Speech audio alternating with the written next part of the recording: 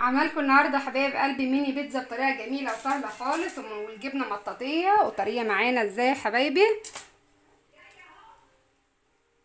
ميني بيتزا يستاهل بقكم. بألف هنا وشفا لكل حبايبي اللي شايفيني دلوقتي. ادخلوا بقى وشوفوا نجاح بقى البيت الميني بيتزا بتاعتنا وازاي تطلع معانا طرية وهشة بالشكل الجميل اللي إحنا شايفينه وقطنية من جوه كده. لو عجبتكم بقى الطريقة بتاعتي ما تنسونيش بقى بال like وال share والاشتراك في القناة وتفعيل الجرس علشان يوصلكم كل حاجة جديدة بنزلها أسيبكم بقى تشاهدوا الفيديو.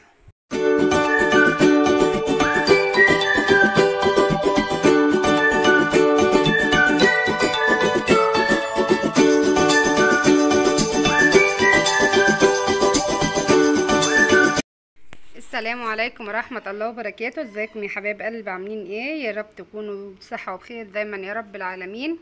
اللهم صل وسلم وبارك على سيدنا محمد عليه أفضل الصلاة والسلام. النهاردة حبايب قلب هنعمل مع بعض الميني بيتزا بطريقة سهلة خالص وجميلة وهشة كده وبعجينة قطنية وجميلة. لو عجبتكم بقى الميني بيتزا بتاعت النهاردة ما تنسونيش بقى بال like وال share والاشتراك في القناة وتفعيل الجرس علشان يوصلكم كل حاجة جديدة بنزلها. والميني بيتزا بتاعتنا حبايبي بتنفع للمدارس وبتنفع للسندوتشات. نسمي بسم الله ونقول المقادير مع بعض. معانا نص كيلو من الدقيق ومعانا كده نص معلقة خميرة فورية ومعانا ذرة ملح وزيت ومعلقتين زيت ومعلقة سكر. هنحط كده ذرة الملح على الدقيق. ونفضي كده الملح كويس كده على الدقيق ذرة ملح على نص كيلو دقيق ومعلقتين الزيت كده. ونقلبهم في بعض. لو حابين تضيفوا معلقة زبادي ممكن تضيفوا معلقة زبادي. لو مش حابين برضو المقادير دي بتدينا برضو نتيجة ناجحة وجميلة للميني تبقى حلوة. دلوقتي هنجيب كده كوباية مية دافية. هنحط فيها كده معلقة السكر. والخميرة الفورية. ونقلبهم كده. كويس. طبعا المية الدافية بتخلي العجينة تخمر معانا بسرعة. ونقلب كده كويس لحد ما السكر والخميرة يدوبوا كده في المية الدافية.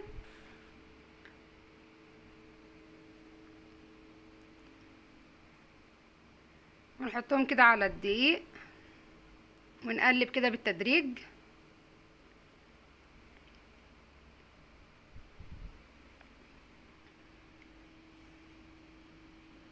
نقلب كويس. هبتدي دلوقتي ان أنا أحط كده المية بالتدريج كده مش هحطها مرة واحدة علشان طبعا ما العجينة ما تطلعش طرية جامد معانا. عايزينها تبقى ولا هي ناشفة قوي ولا هي طرية جامد تبقى وسط يعني بحيث نعرف ان إحنا نتحكم فيها أثناء الفرد. وطبعا المية اللي بعجن بيها مية دافية برضو. مية دافية. نقلب كده. نشوفها بقى بعد ما تتعجن. طبعا من نجاح العجينة اللي إحنا لازم نلتها كويس وده شكل العجينة حبايبي كده بعد ما اتعجنت بقت بالقوام المتماسك ده كده. هسيبها في البولة كده وأغطي عليها لحد ما تخمر وأسيبها بدرجه حرارة الغرفة. في مكان دافي.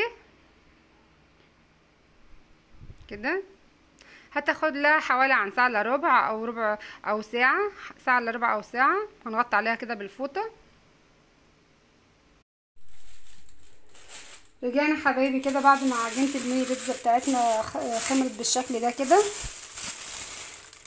هبتدي دلوقتي اللي أنا كده أفك الخمر بتاعها شوية وألمها تاني كده في البولة اللي هي فيها. بسم الله.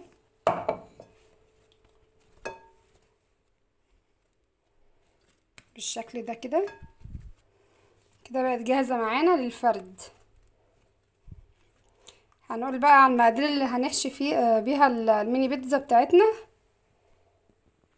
معانا حبايب قلبي كده دي جبنة موتزاريلا. ومعانا زيتون ألوان كده. ومعانا فلفل أخضر. ومعانا كده دي صلصة.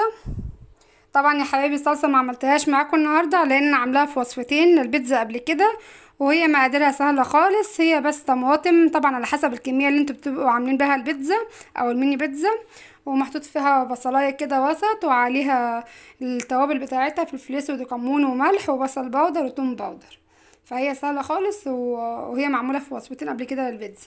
نسمي بسم الله كده ونشوف هنفرد البيتزا بتاع الميني بيتزا بتاعتنا إزاي.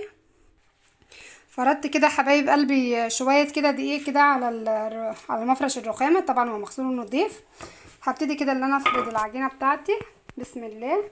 هنفردها بإيدينا أو هنفردها كده حبايبي. كده. لحد ما نرقاها خالص. معايا كده الفرادة بتاعت العيش. هفرد كده بيها. طبعا نرقاها خالص قبل ما نقطعها يعني في الفرد وكده لأن طبعا العجينة بترفع معانا وإحنا مش عايزين السمك بتاعها يكون عالي قوي. نرجع بعد ما رج... بعد ما أفردها. حبايبي فردتها كده بالشكل اللي إحنا شايفينه ده كده وده السمك المناسب بالنسبة لي. ومعانا كده ده صاج الفرن وفرده عليه كده ورقة زبدة. لو مش عايزين تعملوا على الصاج ممكن أنتوا تعملوا على صواني الومنيوم وتدهنوها رشة زيت خفيفة كده. نقطع كده نبتدي نقطع العجينة بتاعتنا بتاعت الميني بيتزا. أنا هقطعها بالطبق ده كده على حسب الحجم اللي أنا عايزاه. لو في عندكم قطعاه أو أي شكل أنتوا عايزين أو أي حجم مفضلينه ممكن تقطعوا بيه. نسمي كده بسم الله. قطعتها بالشكل ده كده يا حبايبي. هعملها كلها بنفس الحجم ده كده ونراعي المسافات عشان طبعا حجمها بيزيد. نعمل واحدة تانية كده.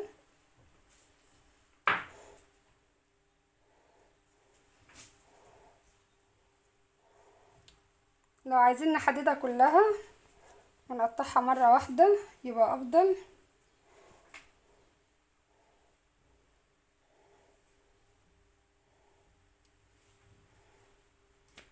كده.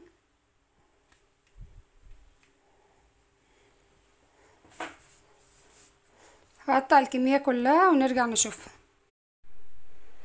حبايبي كده خلصنا الكمية كلها بالشكل اللي إحنا شايفينه ده كده. ده كده الكمية عملت معانا الصاج ده كده. هنبتدي دلوقتي اللي إحنا نفرد كده عليها الصلصة على القطعة دي الصلصة بتاعتنا كده بالشكل ده. كده. عليها كلها.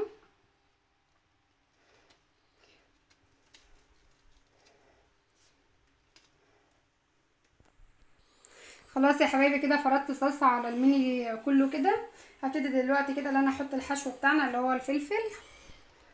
هنحط كده شوية قطع فلفل كده على كام قطعة زيتون. وطبعا يا حبايبي أي حشوة أنتوا تفضلوها لو عايزين تحطوا لانشون أو جبنة شيدر أو طماطم أو بصل. أي حشوة أنتوا تفضلوها. الميني بيتزا دي بتبقى جميلة خالص للمدارس للسندوتشات بتاعة يعني زي سندوتشات المدارس كده بتبقى حلوة للأطفال وهم رايحين للمدارس كده وإحنا مقبلين على فترة دراسية فبتبقى حاجة سريعة وسهلة وجميلة طبعا للفطار.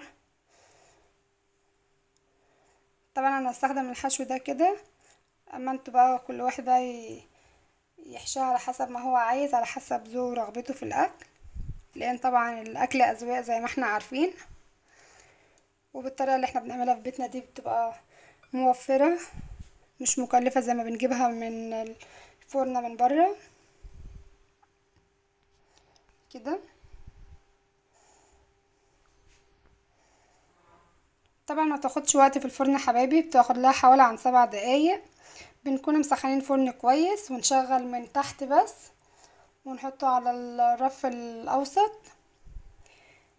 أول ما يتحمر من تحت كده بنروح جايين مولعين الشواية من فوق حاجات بسيطة كده علشان طبعا الميني ما ينشفش مننا من فوق.